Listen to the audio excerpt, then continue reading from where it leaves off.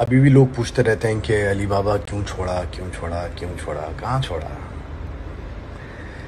I never played Ali I was Ali I am Ali कहाँ छोड़ा? बस एक बंधन से टूट के दूसरे बंधन में आ गए, और क्या? और आई थिंक यही एक कलाकार की खूबी होती है जो अपने आप को एक जगह रोकता नहीं है आगे आगे बढ़ता रहता है, और बढ़ना भी चाहिए। उसी को हम कला कहते हैं। And I am very happy so I guess that's all that matters television actor Cezanne Khan ने खोला अपना मुँह।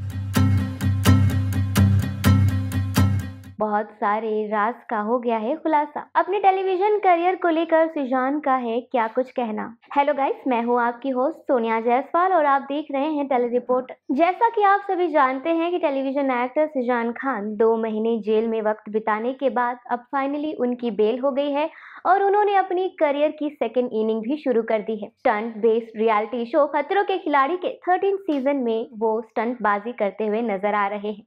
और साउथ अफ्रीका की वादियों में बाकी कंटेस्टेंट्स के साथ उनकी खूब अच्छी खासी बॉन्डिंग भी हो रही है।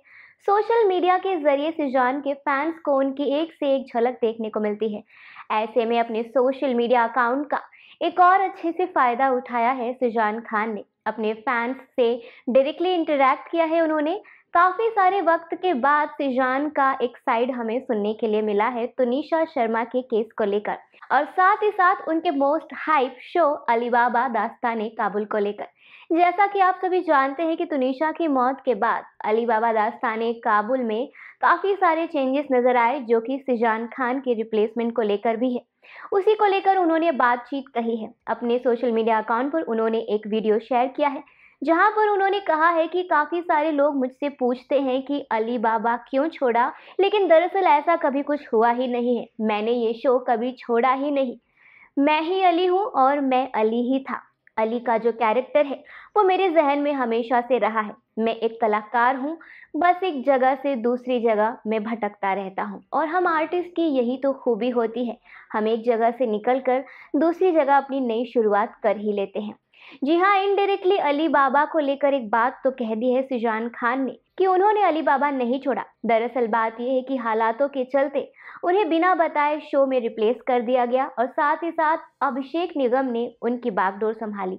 लेकिन अब खबरें ये भी आ रही हैं कि जल्द ही अली बाबा चैप्टर टू एक अनदेखा अंदाज ऑफ़ एयर हो जाएगा और अब उसकी जगह हातिम का कैरेक्टर सामने आएगा जिसके रोल में सुमेर नज़र आएँगे।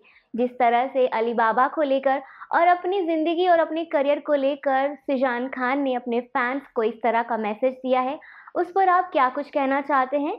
और अली बाबा के कैरेक्टर को लेकर आप किसे देखना पसंद करेंगे? साथ ही साथ अली बाबा के कैरेक्टर के बाद आपको हातिम का कैरेक्टर यानी कि सुमेध की एक्टिंग कैसी लग रही है? हमें कमेंट सेक्शन में बताना ना भूलें। और टेलीविज़न की दुनिया से जुड़ी हर एक लेटेस्ट खबरों से अपडेटेड रहने के लिए टेली रिपोर्टर को ज़रूर सब्सक्राइब करें।